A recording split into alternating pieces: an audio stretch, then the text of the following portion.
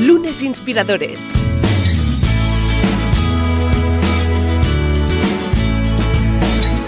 Con David Tomás y Edu Pascual.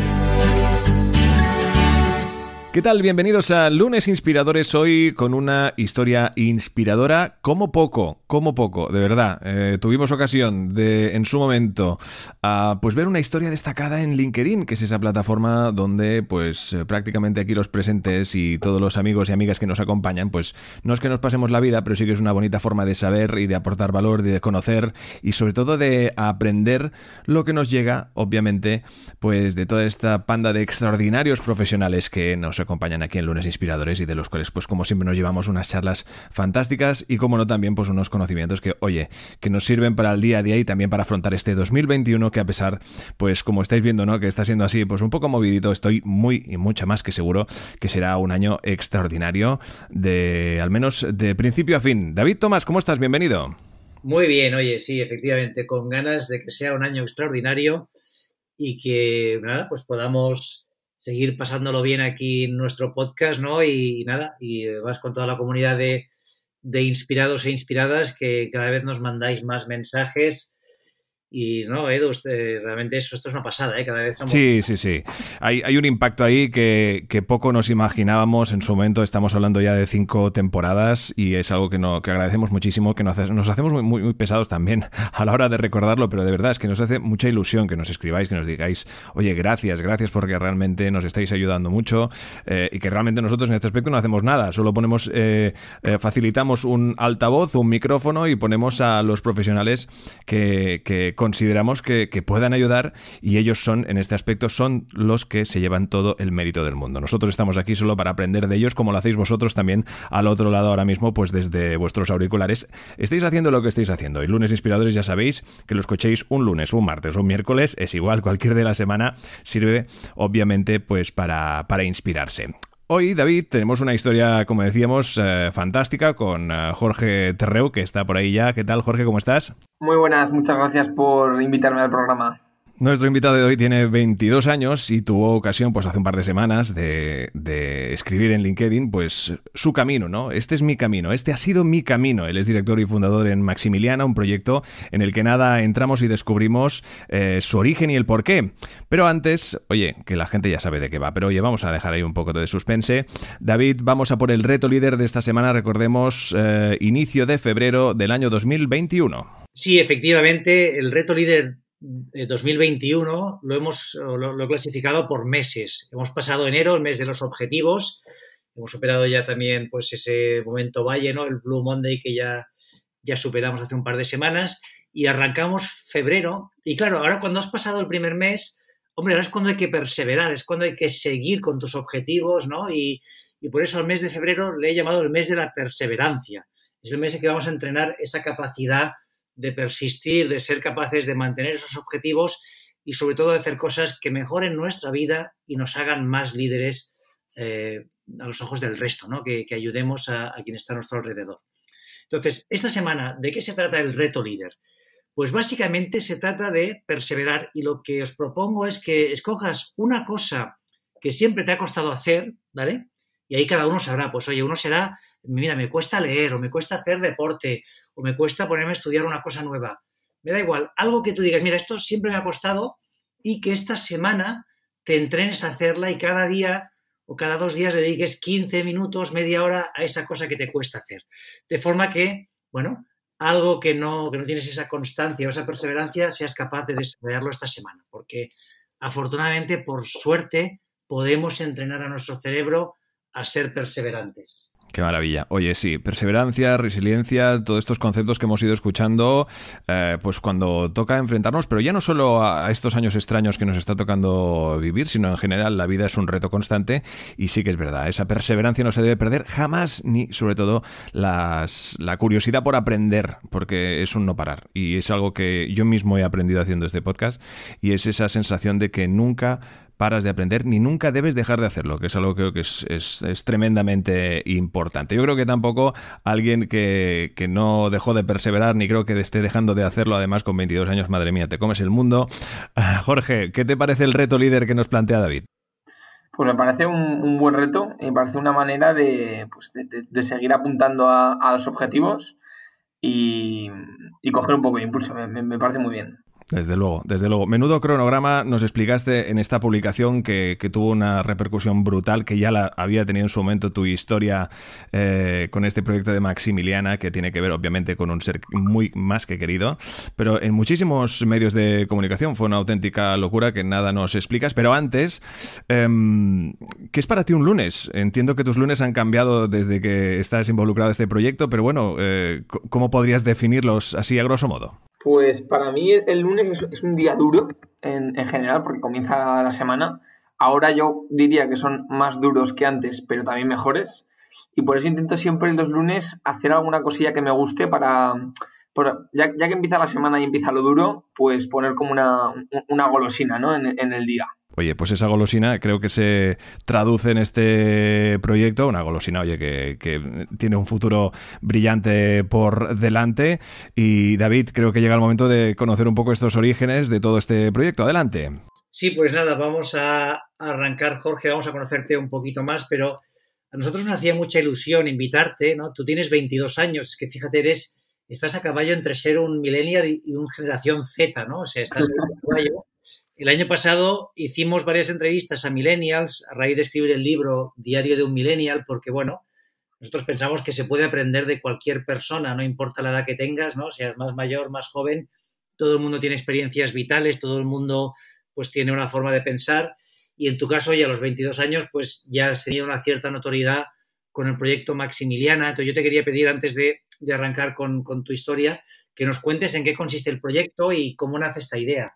Pues el proyecto de Maximiliana nace hace un poquito menos de dos años, cuando yo estaba estudiando en Francia, de Erasmus, y yo quise hacerle un regalo a mi abuela, un regalo de, nieto a abuela, eh, para poder verla, porque como el año de Erasmus es un año entero fuera, en, otro país, en, mi caso en Francia, pues mi abuela en aquel entonces tenía 87 años e iba a significar un año entero sin verla. Entonces entré, entré a Google y, y tecleé pues, un dispositivo para poder hacer videollamadas donde mi abuela no tuviera que hacer nada. Entonces estuve buscando y como no encontré nada y yo he estudiado ingeniería informática, pues dije, oye, voy a, voy a intentar hacerlo. Me costó mucho más de lo que yo pensaba, eso lo tengo que, reconocer, pero bueno, al final salió, se lo puse a mi abuela y empezamos a utilizarlos todos en, mi familia. Qué bueno, oye, y esto lo hiciste mientras estudiabas, o sea que, compaginaste el Erasmus con, con desarrollar el proyecto. Efectivamente, esto lo hice mientras estudiaba y bueno, yo antes de Maximiana llevaba algún proyecto emprendedor em, y de hecho mientras hacía Maximiana compaginaba el otro proyecto que llevaba y del cual vivía, em, la carrera y Maximiliana. O sea, no, dormía más horas de las debidas, pero ni, ni un día. Claro. Oye, pues vamos a hablar esto de que ahora luego entraremos también en ese proyecto y nos contarás, ¿no? Pero Cuéntanos, oye, cómo ha sido, bueno, vamos a ir a la infancia, porque la adolescencia la tienes aquí al lado de la esquina. ¿Cómo, cómo, cómo te han educado tus padres? ¿Tú, ¿Tú qué crees que parte hay de ADN, qué parte ha sido pues, de, educación, de valores? Cuéntanos un poquito cómo ha sido tu, infancia. Pues, pues yo considero que, bueno, yo he tenido una, muy buena infancia, o sea, una, infancia, pues, eh, divertida, donde me la pasa bien, la he disfrutado. Em, y creo, o, destacaría, que yo creo que mis padres me han dado una educación estricta en cuanto a, sobre todo muy, como muy educado en la, en la cultura del esfuerzo. O sea, yo, recuerdo desde pequeño, pues poder trabajar en, en, las tareas de clase o lo que sea durante, pues, horas y sin ningún problema, que yo creo que en alguna ocasión eso, puede ser que a veces se, se pierda un poco esa capacidad de, de, trabajo. Y eso lo agradezco mucho a mis padres, porque ahora, por ejemplo, con Maximiliana, que tocan unas panzadas de trabajo inimaginables, pues llevar toda, toda esa costumbre de, hacerlo desde, desde, pequeño, pues ayuda un montón. Qué bueno. Y decías esto, ¿no? La, perseverancia, el esfuerzo, ¿no? Valores muy importantes. Entonces tú, esto, ¿no? En 2016 vas a eh, estudias en Zaragoza, ingeniería informática. Antes, ¿estudiaste en el extranjero o algo? ¿O no? Todo, todo en Zaragoza? Eh, había estudiado, o sea, he estudiado siempre en Zaragoza hasta primero de bachiller que lo hice en Estados Unidos con una beca en, en Connecticut, en el estado de Connecticut. Y luego regresé a Zaragoza, estudié segundo de bachiller en el Colegio Romareda y después empecé la carrera de, informática. que también la hice en Zaragoza, quitando el tercer año de Erasmus en, en Lyon.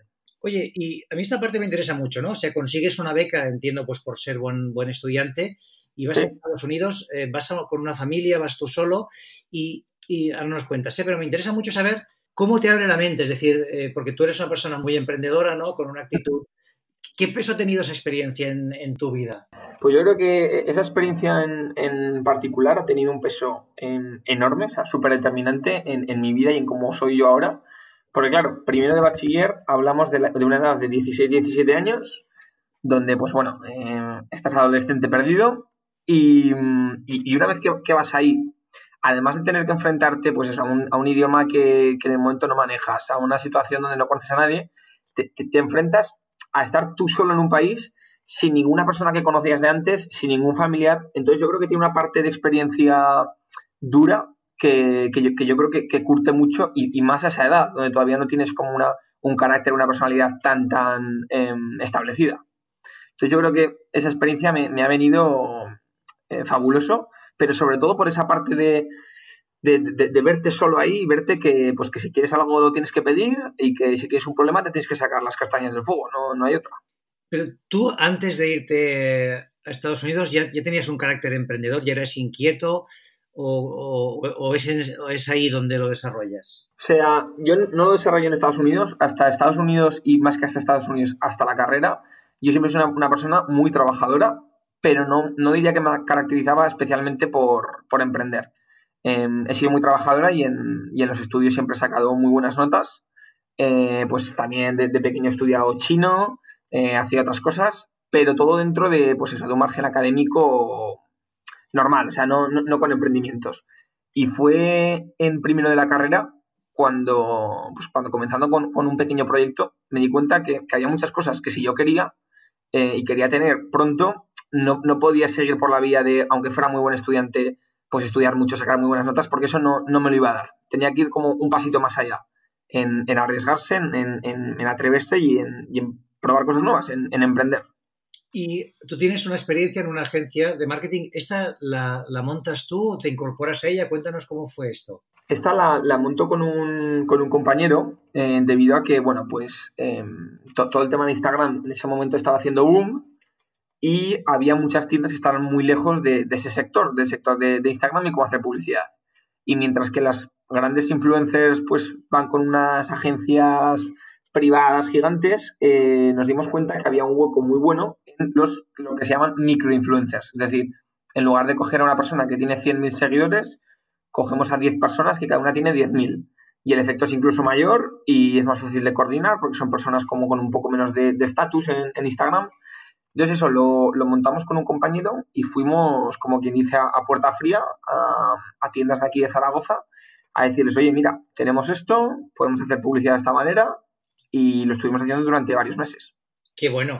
Oye, ¿qué, aprendiste con este primer proyecto emprendedor? Y luego otra cosa, ¿no? Que al final, cuando arrancas un proyecto, a veces con, un compañero de universidad, luego te das cuenta que cada uno tiene visiones del mundo distintas, ¿no? No sé cómo fue vuestra, vuestra forma de trabajar, ¿no? Es, algo que, fue una buena experiencia, aprendiste cosas. Cuéntanos un poco cómo fue.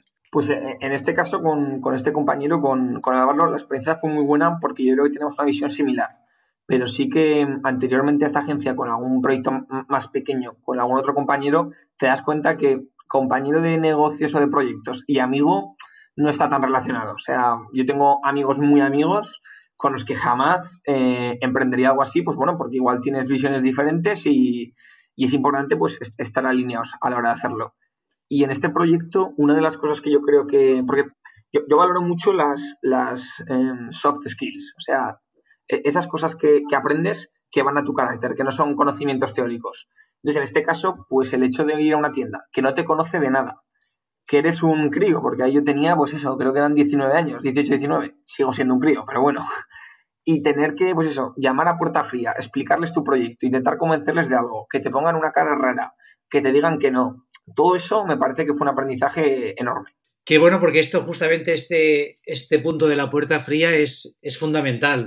¿No? Yo creo que es una de las mejores experiencias que se puede tener a nivel profesional y personal, ¿no? Porque es empezar a asumir que vas a tener el rechazo, ¿no? Que va a haber gente que te va a decir que no, no es que te rechace a ti personalmente, es que, oye, ese, ese producto, ese servicio ahora mismo no le encaja y no quiere decir que tú seas eh, malo, que te estén rechazando, ¿no? Y es uno, yo creo que es uno de los mayores miedos que tiene mucha gente, ¿no? E, ese rechazo parece que nos están rechazando a ti como ser o como... Claro, claro, claro, claro.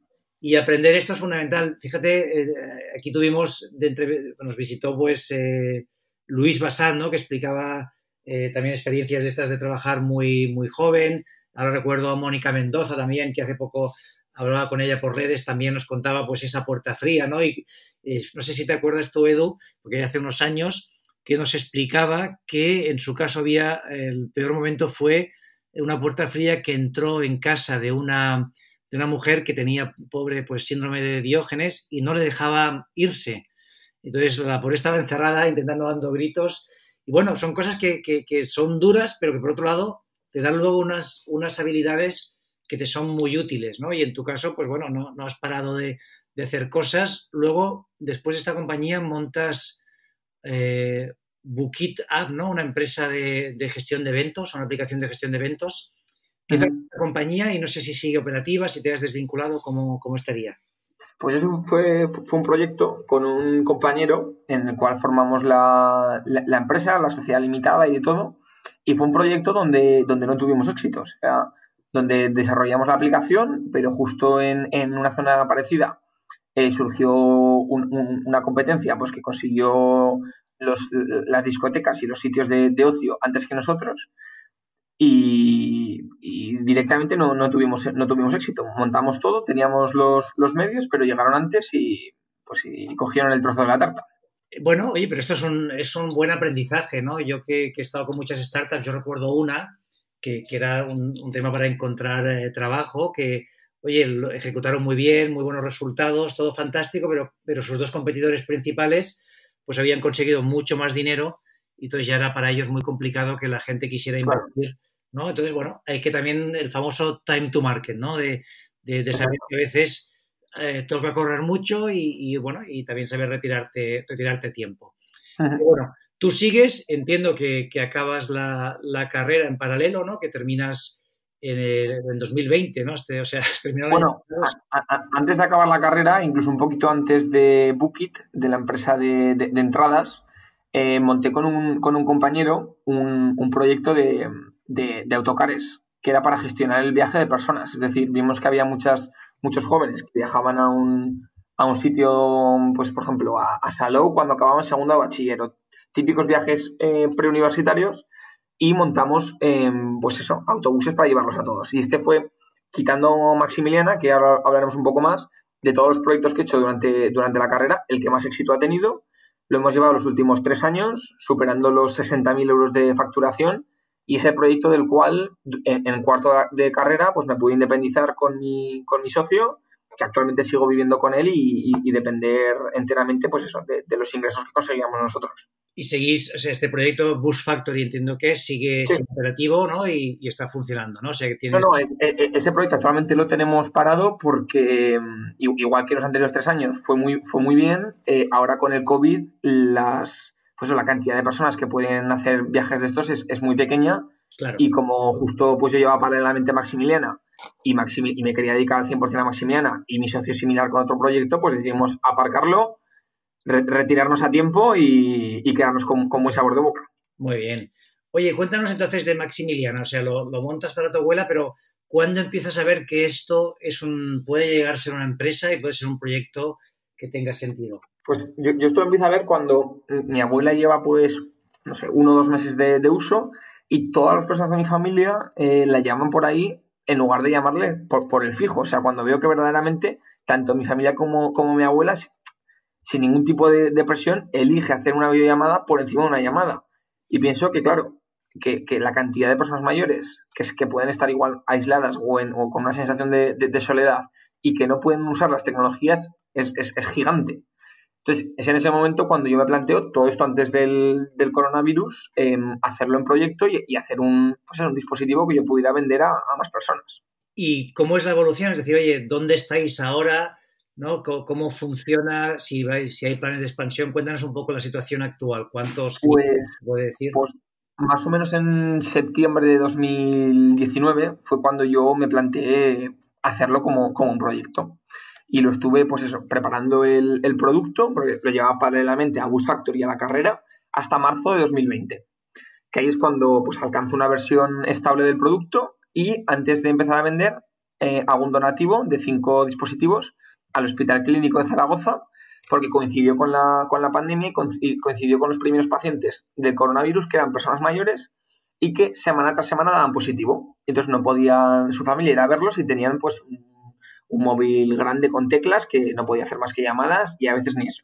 Entonces hice el donativo de cinco móviles, fue muy bien la prueba de un mes y a partir de ahí empecé a coger los primeros clientes. Al principio, muy de poco en poco, hasta que en junio de 2020 el, el proyecto coge una aceleración alucinante porque nos saca un medio que es el, el Heraldo de Aragón, que es muy importante aquí en, aquí en Zaragoza, y a raíz de eso nos llaman de, bueno, ya hablo en NOS, en aquel momento era me, me llaman de, de, Onda Cero, de Radio Nacional Española, de COPE, salimos en la revista del Pronto y otras decenas de periódicos y radios que, en los que hemos ido apareciendo hasta, hasta día de hoy. Entonces, entra un inversor, llama a un inversor que contacta precisamente por LinkedIn, me llama y me dice, oye Jorge, quiero, quiero hablar contigo. Al día siguiente hablamos por teléfono y me dice, ¿tú qué quieres? ¿Conseguir 30, 40 móviles para que tu abuela esté contenta? O además de eso, intentar pelear por llegar a 2.000, 3.000 teléfonos. Y claro, cuando te dicen eso y más alguien que, pues que le gusta emprender como a mí, no, no, no lo dudas. O sea, poco importa el plan que llevabas, que, que ahora el plan está claro. Entonces, con, con, los recursos de la inyección de capital del, del inversor, pues hemos podido costear un, equipo de cuatro personas y unas oficinas en las que estamos trabajando desde septiembre de, 2020, pues llevaremos unos cinco meses y actualmente contamos con unos 100 clientes en, en 25 o 30 provincias de, de, España diferentes. Qué bueno. Oye, y, y esta llamada del inversor, ¿cómo, bueno, cómo fue? ¿no? Porque también es, es curioso, ¿no? Que, que, no sé si directamente te propuso ya ser inversor o antes quiso conocerte y entender un poco qué, qué hacías el, tema del inversor yo siempre lo había visto como algo, como algo lejano, porque es la típica cosa que, que, ves que pasa más en Estados Unidos que aquí y lo ves más en pelis que, que en la realidad. Pero me escribió un mensaje, o sea, me, me llegaron muchos mensajes con, con, la aparición en los medios, pues felicitaciones sobre todo, enhorabuena, donde puedo conseguir uno, pero me llegó un mensaje eh, de, de, del inversor que ponía, hola Jorge, eh, te puedo llamar mañana, un abrazo, o sea, como algo muy directo y vi que tenía LinkedIn Oro, que LinkedIn Oro, pues igual tiene un coste de 80 euros al mes. Entonces quiere decir que si lo tienes, o te dedicas al, a, al recruitment, a, a, recursos humanos, o que eres una persona, pues eso, que, que, que, tiene cierto, cierto nivel. Entonces, al día siguiente eh, me llamó y hablamos, nada, hablamos 20 minutos y me, y me preguntó eso, me dijo, ¿tú qué quieres? ¿Quedarte en 20 móviles o pelear por llegar a, a 2000? Y entonces yo le dije que 2.000 y desde entonces hemos ido haciendo una reunión cada mes para fijar los, los detalles de la, de la, ampliación de capital. Y, y, él entró, pues creo que fue en septiembre o en, octubre, ya en, la empresa. Y, y ahora tenemos una relación con él de que, pues eso, eh, voy, haciendo viajes a Madrid para hablar de estrategia comercial, de planificación, de, del presupuesto económico y todas estas cosas. Y que al final qué importante esta colaboración, ¿no? Que quizá en España no estamos tan dados ¿no? A, a, colaborar de esta forma como en mercados como Inglaterra, Estados Unidos, incluso Francia, ¿no? donde estabas tú. Sí, claro. Tenemos esta colaboración y aquí quizás somos más de, de, de, hacerlo de forma independiente y muchas veces el éxito pues depende de esto, ¿no? De, de, de oye, pues tú tienes ese, ese conocimiento técnico y, y, estas ganas comerciales y tener a alguien pues, que tenga más experiencia y que te pueda dar recursos puede hacer que la, que la empresa sea un éxito.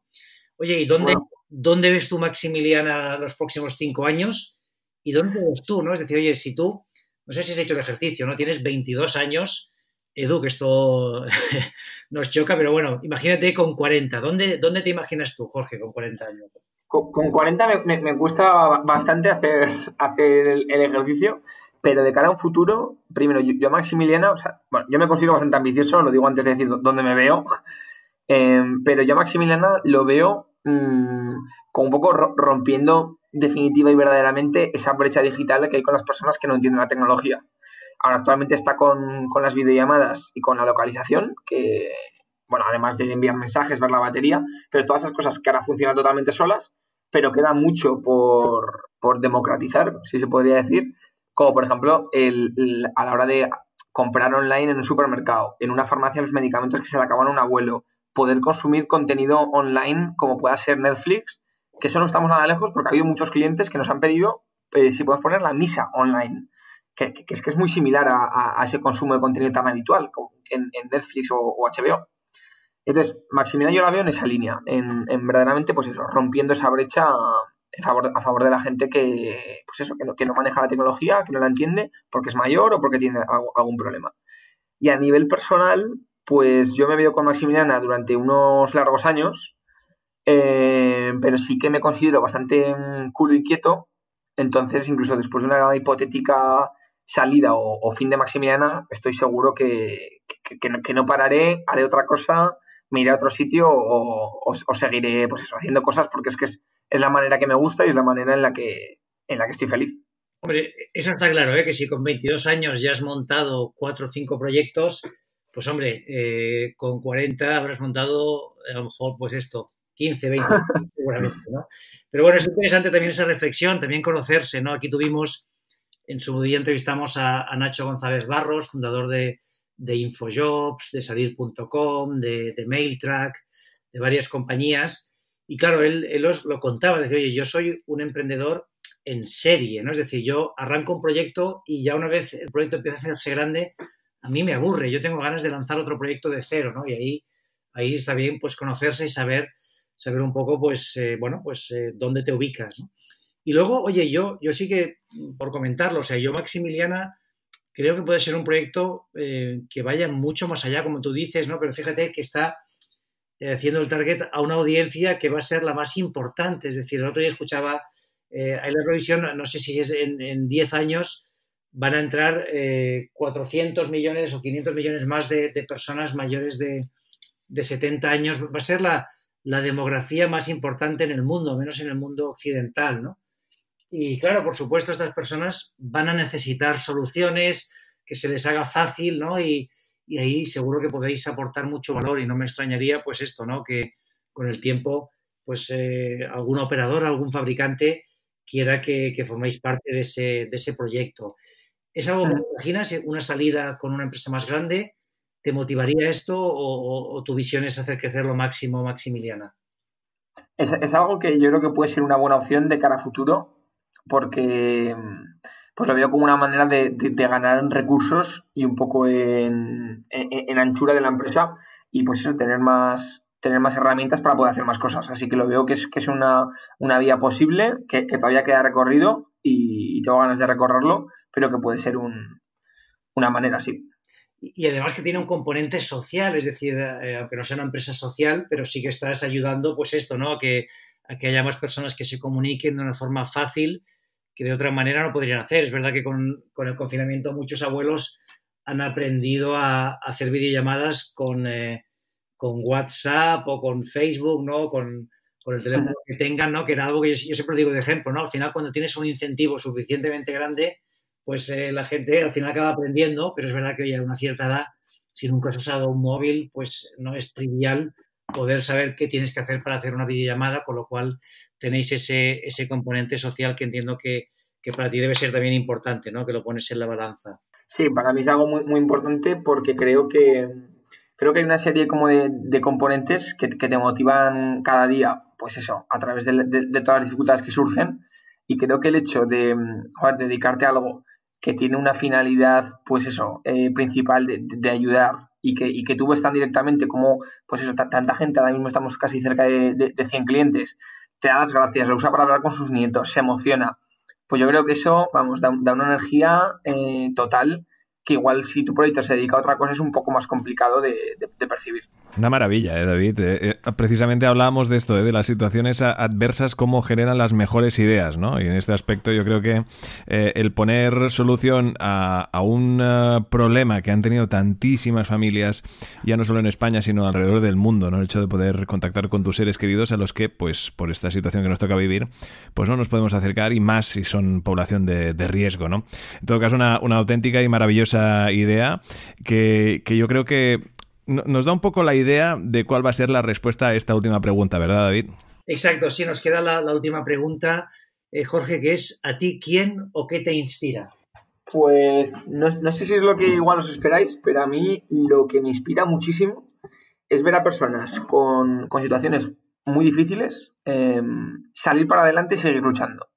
O sea, eso es algo que, me inspira a personas que claramente tienen una situación, pues, o, bien por algo trágico o lo que sea, que, es muy, muy, muy dura, y ver cómo esa gente sigue para adelante, sigue luchando y sigue peleando por, por estar bien, eso es algo que, me llena un montón y, pues, y que me hace pero, pues pensar, pero ¿de qué me quejo yo en, un momento puntual de un problema si es que, vamos, Claro, claro, claro, sí, sí, desde luego. Esa, esa es la actitud sin duda, la de nuestro invitado de verdad, David. Sí, no, iba a decir que no, no que, realmente a, mí por lo menos también me inspira, ¿no? Al final ese, ese esfuerzo, el, ver que te puedes superar, eh, nos, yo creo que nos inspira a todos, ¿no? Que son historias muy bonitas de, contar.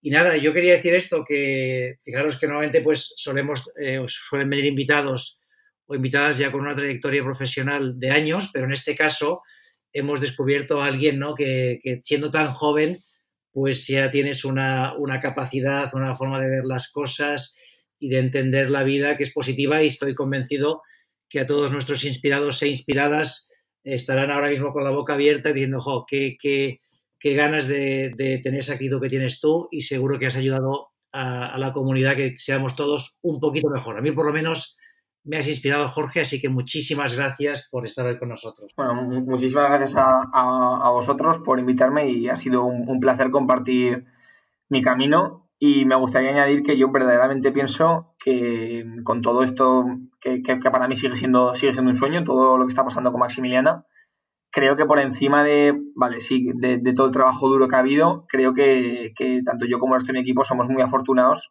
de poder dedicarnos a lo, que nos estamos dedicando, que creo que es una, es una suerte, lo primero de todo. Desde luego, una, una, suerte como también será de nuevo tenerte aquí dentro, dentro de un tiempo donde seguro que nos vendrás a contar nuevos proyectos porque yo creo que tenemos ante nuestros ojos y yo creo que David te ha calado un poquitín ya y es ese, ese sentimiento de emprender en serie. De todas formas, ahora toca disfrutar de este proyecto que aún tiene que dar muchísimo de sí y lo hemos hecho como no, pues con Jorge Terreu, que en este caso es pues ya no solo director de Maximiliana, sino también nieto. Así que oye, desearle un fuerte abrazo también a tu abuela, a toda tu familia, como no. También a ti, desearte toda la suerte y también gracias por acompañarnos. Muchas gracias, un saludo. Y ya sabéis que estáis ahí todos los que nos escucháis ahora mismo, inspiradas e inspirados. En Lunes Inspiradores tenéis todos los capítulos del mundo, casi casi. No del mundo, pero bueno, casi casi estamos llegando. Hay más de 200 capítulos que disfrutar, en los que, pues obviamente, después de acabar este podéis y tenéis oportunidad de ir a escuchar todos en la plataforma, por ejemplo, en Evox, en, en Google, Apple Podcast y también en Spotify. Ya sabéis, esto es Lunes Inspiradores, quinta temporada. Gracias a todos. Suscríbete a nuestro canal de YouTube, a nuestra cuenta de iVoox y síguenos en Twitter, arroba lunesinspirador. Lunes Inspiradores.